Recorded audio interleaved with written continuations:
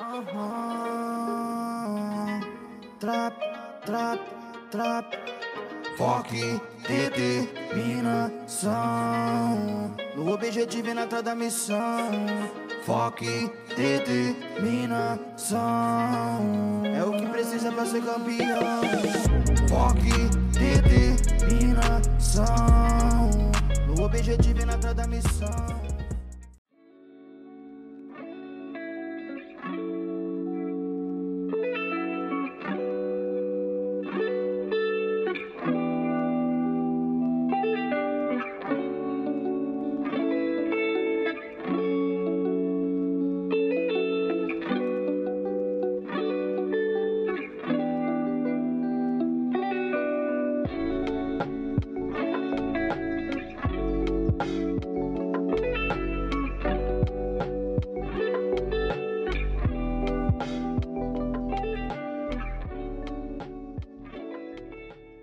Siemanko, witam Was na kanale Pasja to Karp. Witam Was po dłuższej przerwie, miesięcznej przerwie, gdzie byłem nieobecny z tego względu, że cały wrzesień przeznaczyłem na obowiązki domowe i też na odpoczynek.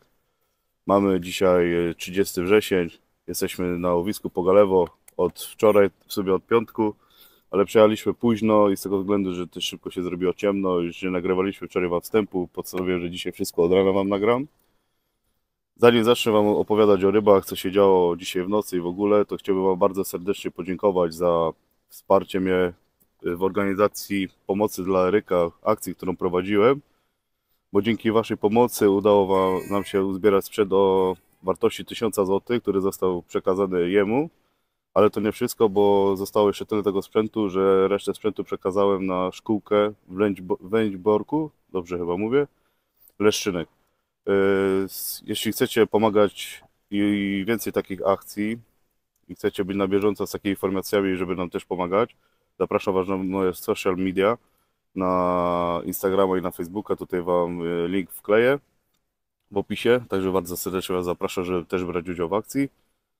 I wracamy do ryby. No jesteśmy na łowisku Pogalewo od wczoraj.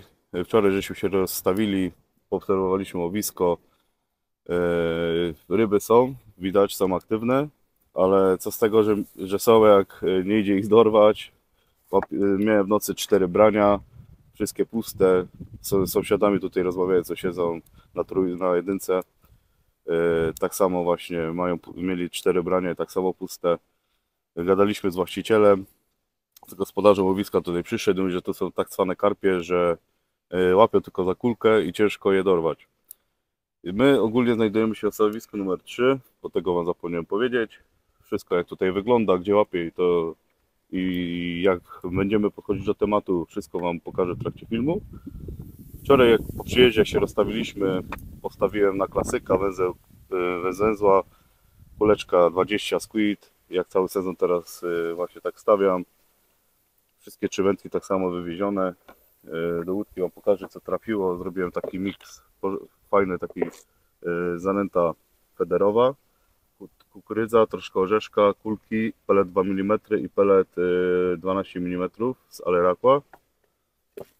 Takie coś właśnie poleciało do łódki zanętowej, jedna łyżeczka, więcej nie dawałem, bo chciałem też wybadać teren, jak widać dobrze, dużo nie sypałem, bo y, gdzieś te ryby tam są w tyłowisku, ale z... pewnie, Odpływamy nam tak samo dzisiaj, nie? A to weźcie nasz. Podbierak tylko wyrzuć i...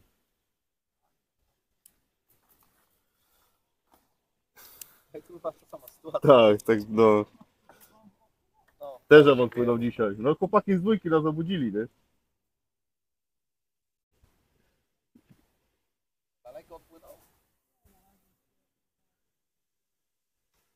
Także widzicie, w trakcie nagrywania mamy przygody. Chłopakom uciekł ponton. Yy, Dobra, raczej skończyliśmy na taktyce. Właśnie tak delikatnie podszedłem do taktyki. Tylko taka zanęta, łyżeczka, więcej nie dawałem, bo chciałem, mówię, wybadać teren. Jak tutaj te ryby żerują. I widać, że żerowały, że brania były.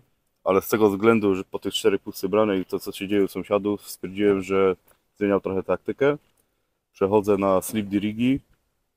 Bo to są bardzo fajne przypony na y, ostrożne ryby i wszystko będę pakował właśnie w bombkę, zasypywał paletem 2 mm, trochę mgły, trochę tej zanęty z pół rzeczki do łódki i z takim podejściem właśnie podejdziemy do karpi i zobaczymy co się wydarzy.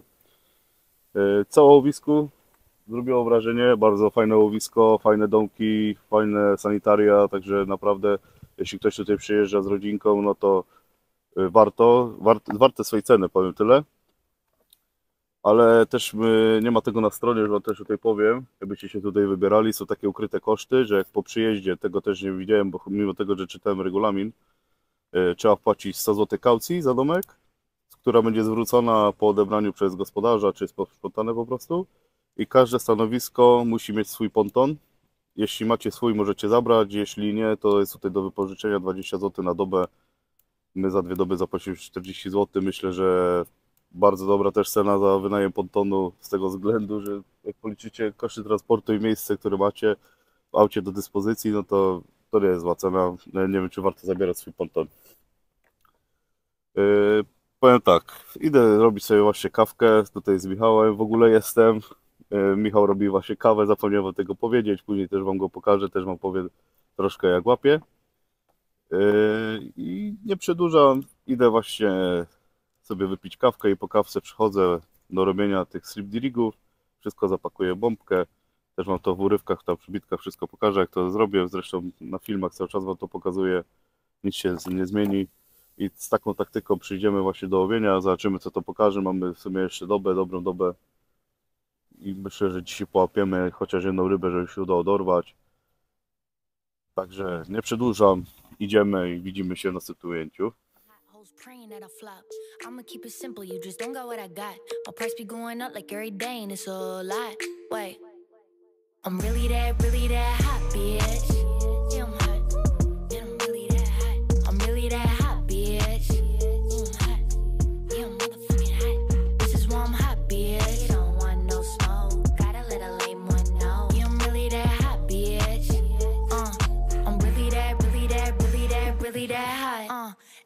Not, boy. Bitch, I've been a trendsetter, but I'm not coy. Yeah, you talk a lot of talk, but it's noise. Me and my girl, we're at the top, and you cannot join. Wait, ooh, this is why I'm hotter than hot. The way I talk alone, take for top. I just copped a home, Kylie Jenner right down the block. Travis Jordan's on. Yy, Dobra, to my tutaj właśnie przy kawce z Michałem. Ładne kubeczki tutaj są na stanowisku, po lewo. Zrobiłem właśnie sobie przypony, tak jak mówiłem. Postawię tak, Ronnie Riga sobie, możecie zobaczyć. Mały pop-upek 14 mm. Później Slip D Riga Wafters 18 mm, nie, to jest chyba 18 czy 15? Teraz nie kojarzę, nie pamiętam. Czekaj, tu chyba jest. 15. 15 Wafters na Slip Rigu i postawiam sobie dumbbellsika takiego małego też na Slip Rigu. Yy, No mówię, yy, małe przynęty przejdziemy, bo mamy duże dwudziestki pozakładane i nie wiem, one tak delikatnie pobierają. Wziąłem, zmieniam haczyki na czwórki, bo tam mam dwójki. Małe przynęty i zobaczymy, czy coś będzie grać. Yy, W jaki sposób to będziemy wozić, bo wywozimy modelem zdalnie sterowanym. Wszystko właśnie w woreczku TVA, zrobię taką bombkę, nie do rzutu tak typowo ścieżarkiem, tylko nadajemy pelet, wsadzę tylko przypłon, zawinę i będziemy to kłaść. Jak widzicie się rozpogadza, przejaśnia się trochę. O kurczę, że tunel założyłem tutaj. Rozpogadza się trochę. Ryba cały czas się spławia w naszym łowisku, także musimy podziałać, może uda się dorwać. Myślę, że te małe przynęty zdarzą egzamin. Ale to jest 2 mm, ale rakła. Używamy go często, bardzo się dobrze sprawdza. Tak widzicie tu, oj chyba trochę za dużo, ale to ok. Tak zrobimy. Układam przypon sobie ładnie tym. Tu podhaczam.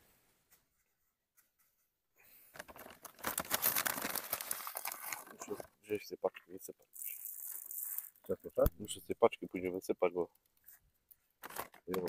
No,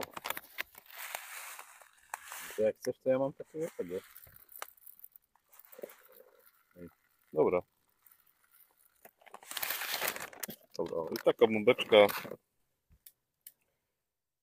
Tu jeszcze ciężarek. Będzie po prostu założona. O, głupka. Okej. Taka mała bombeczka. Wtedy zbytnio nie ubijam, po prostu żeby to tylko padło na dno. O. Poleci do wody.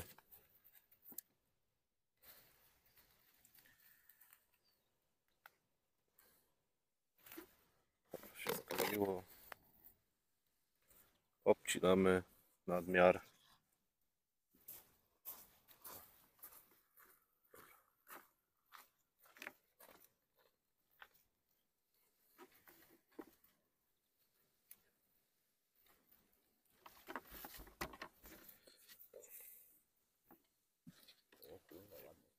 I tak jak możecie zobaczyć, właśnie taka bombeczka sobie poleci, to jeszcze mgłą zaleję fluo, co mam i tak będziemy kłaść do tego z pół łyżeczki tej zanęty, co Wam pokazywałem na początku.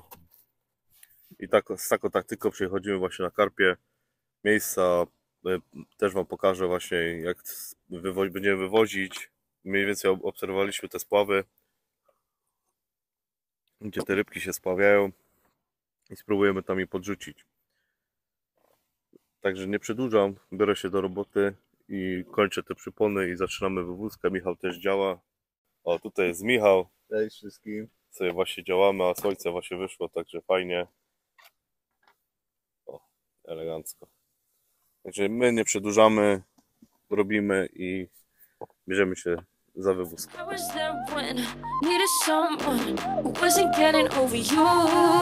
When I move to the side, when I move, call and I know what you're feeling. I'ma take it for a ride, let me take it off your mind, cause you know it's season. And I move, and I move, and I move I ride, No to tak mówiłem, właśnie wywieźliśmy. Trzy zestawy moje położone. Łapię tutaj zaraz y, z prawej strony mojej. Y, Są tutaj grążele, kapelony. Takie fajna miejscówka z 30 metrów od brzegu. Tam położyłem pierwszy zestaw. Tam jest y, tak od granicy od 1 do 1,5 metra. Takie fajne dołeczki tam sobie położyłem. Drugi poleciał też tam pod drugi brzeg. Y, Tam jest taki spadek na 3,5 metra taki dołeczek, także też e, elegancka sprawa. Tam jest położone. Wczoraj stamtąd miałem dwa brania. Czy wczoraj, dzisiaj w nocy. I później położyłem, czy was nie skłamać. O, I później położyłem o, pod tą linią brzegową, tam już jest chyba z 40-50 metrów. Gór, e, też tak, taki jest e, dołek, ile on tam ma? 4 metry? Tutaj? Tak. 4 metry. Tak, no to 4 metry, też tam na Echosądzie Wam pokażę przebitce, bo to nagrałem. I są tu też miałem dwa brania. Te pierwsze miejsce tutaj blisko brzegu żadnego brania nie wypracowało. Eee, No ale nie poddajemy się, postawiłem te same miejsca, po prostu zmieniłem trochę taktykę, inaczej podszedłem, mniejsze haczyki, mniejsze przynęty i tak właśnie będziemy szukać tych karpi. Michał sobie sąduje, jeszcze raz szukamy jeszcze jakichś takich miejsc, bo widzimy, że tak 30 metrów od nas tutaj na środku wody spławiają się też i właśnie płyniemy sobie popatrzeć, czy nie ma też tam jakichś dołków, co byśmy mogli postawić.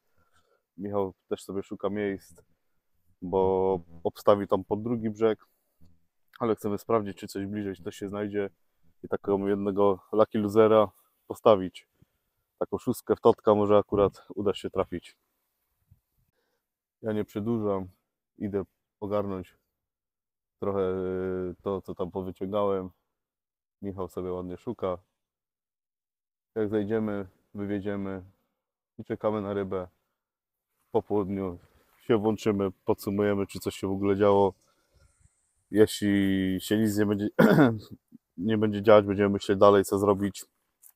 Czy jakąś inną taktykę znowu obrać, czy zostać przy tej. O, już chyba branie jest właśnie. Możecie zobaczyć. This motive got me feeling all proud. Like a lane wine at party, this is the hardest, like more proud. I'm tryna get lit to a hit like this, this girl, girl, girl. If you fit this stinks, then it must be you, like shower, shower, shower. Cause I know it's more than hot. This motive got me feeling all proud. Like a lane wine at party, this is the hardest, like more proud. I'm tryna get lit to a hit like this, this girl, girl, girl. If you think this stinks, then it must be you, like shower, shower, shower. Cause I know I step in the vibe, 12 steps, you're good. Take off your hood, cause the man in my. This gal wanna be in my good books, but I bad me, that's all I can see. Mamy godzinę 11.30. Jest kolejne branie teraz u Michała. Że tak powiem, ten lucky loser zdał egzamin 30 metrów od stanowiska. W taki dołek że Michał wrzucił. I mamy właśnie pierwszą rybkę. Zaraz zobaczymy co to jest. Michał zadowolony z taktyki. Pewnie. Jednak Taki loser. przejście na małe przynęty ma haczyki i bombki. Zdaje na razie egzamin, drugie branie w przeciągu dwóch godzin. Jaki dwóch godzin? Godzinę. Trzy godziny? Tak? Godzina, nawet pół godziny. A tak, bo sorry, no. Jak woziłem później. No, także ja biorę podbierak i spróbuję podebrać.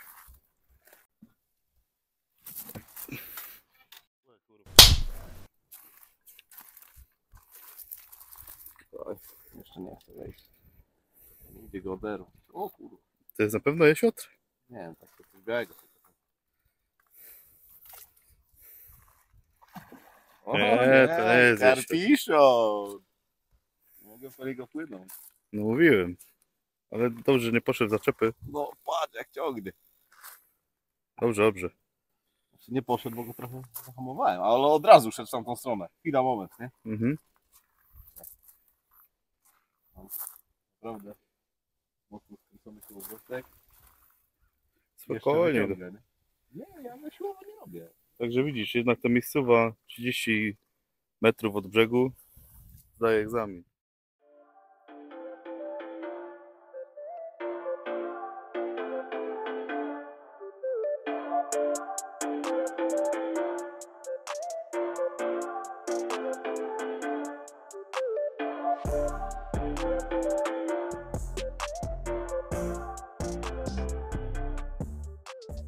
Mamy właśnie terpika 10 kg. Michał zadowolony. No uśmiechnij się już, nie chowaj tego banana, ładny. pierwsza ryba tej. Dobra, wypuszczamy. Także piąteczka.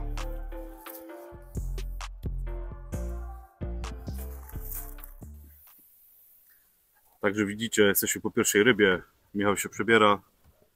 Yy, Jednak to nasze podejście z moimi przynętami zdaje na razie egzamin w przeciągu tam tej godziny, półtora, tak jakoś tak jest. Yy, Dwa brania. Moje oczywiście zaczepie, ja mam takie szczęście. Michał wyciągnął, fajnie udało się. Także pracujemy dalej, robimy kolejne bombeczki z taką taktyką. Będziemy yy, dalej łowić. Nic nie zmieniamy, ryba aktywna. Myślę, że jeszcze coś dzisiaj fajnego zapiemy. Nie przedłużam. My idziemy tak naprawdę zjeść teraz śniadanie. Bo jak zwykle chcieliśmy zacząć robić, a było branie. To wszystko. Michał się szykuje, będzie wywozić i czekamy na następne emocje.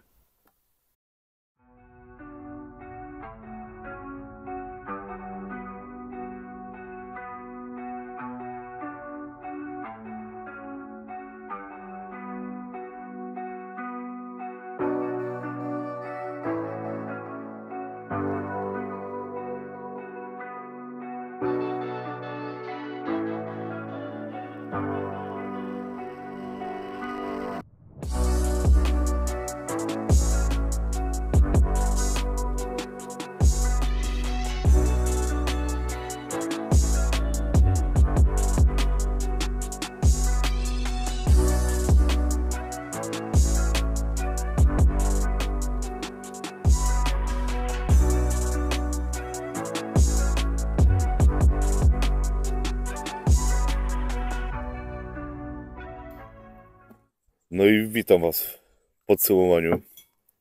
Miał być wczoraj wieczorem raport z dnia, ale nie udało nam się nic zagrać z tego względu, że mieliśmy fajne brania.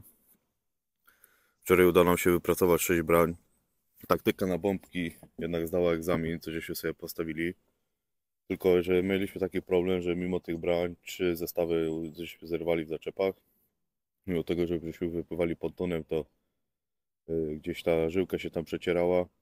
Y, No, problem jest taki, że tutaj nie można szełówki używać według regulaminu i to bardzo, y, jak to powiedzieć, waży na tym, że tej ryby są nikłe szanse wyciągnąć. Ogólnie wyjazd na plus. Mamy jedną rybę. To co żeście widzieli, co zapał Michał. Yy, wczoraj 6 branż, 3 spinki i 3 zerwane zestawy. Yy, Do tego jeszcze dzisiaj w nocy Michał miał jedno branie, ja tam miałem takie pojedyncze piknięcia, ale w sumie się nic nie wydarzyło. Yy, No, taktykę myślę, że mieliśmy dobrą, bo te brania były, owocowało to, co żeśmy sobie ustawili, ale gdzieś te przypony, nie wiem, czy robiliśmy my błąd, czy te karpie są tak cwane, no cały czas nad tym myślimy, bo pierwszy raz mamy taką sytuację, gdzie mimo tych brań yy, słabo te ryby się zapinają, albo w ogóle się nie zapinają i jest duży problem z wyholowaniem tego. No ale to też jest tam dla nas lekcja i cały czas właśnie o tym sobie myślimy, co żeśmy mogli zrobić źle, co żeśmy mogli poprawić. Ale myślę, że żeśmy wszystko idealnie zrobili. Po prostu ryba jest tak nauczona. Tak sobie to będę tłumaczyć na razie. No, przeanalizuję sobie spokojnie w domu. No ale tak jak mówię, wyjazd na plus, jesteśmy zadowoleni. Ważne, że ten plan minimum jedna ryba na macie jest. Michał złapał, także fajnie udało się to wypracować. Yy, Co jeszcze mogę powiedzieć? Łowisko, powiem Wam, że naprawdę robi wrażenie. Fajne, komercyjne, małe, takie z klimatem. Domki też fajnie wyposażone. Cieplutko w domkach, to najważniejsze. Myślę, że to tyle z tego podsumowania. Ogólnie to będziemy tutaj na pewno w przyszłym sezonie, gdzieś tak będziemy planować tutaj zasiadkę, bo spodobało nam się to łowisko. A teraz już przygotowujemy się na wyjazd za dwa tygodnie. Wyruszamy na Turkusowy Zalew. Myślę, że tam się, że tak powiem, odchamimy za to, co się tu stało, że uda nam się coś tam połapać. Także też szykuje się fajny wyjazd. Jedziemy od czwartku do niedzieli. Też się już nie możemy doczekać. I to takie plany na następne łowienie. A Wam, jeśli się podobało, zostawcie lajka, kliknijcie suba i zapraszam Was na kolejny odcinek. Zapra- Zapraszam też Was na moje social media, na Instagrama, na Facebooka, na TikToka, jeśli chcecie. Tam y, jestem cały czas aktywny. Możecie też y, śmiało się wypowiadać w komentarzach, czy łowiliście tutaj, czy mieliście takie same sytuacje. Jeśli tak, to podzielić się, czy udało Wam się y, wyeliminować jakieś błędy. Może my żeśmy coś źle zrobili. Śmiało komentować, dawać znać, pisać, bo też to jest dla nas lekcja, pierwsza taka sytuacja, ale trzeba się uczyć, wyciągać konsekwencje i myślę, że w przyszłym sezonie, jak tu zawitamy, to poprawimy ten wynik. Dlatego ja nie przedłużam, szykujemy się za dwa tygodnie na następny wyjazd. Z Wami się żegnam i widzimy się w kolejnym odcinku. Elo!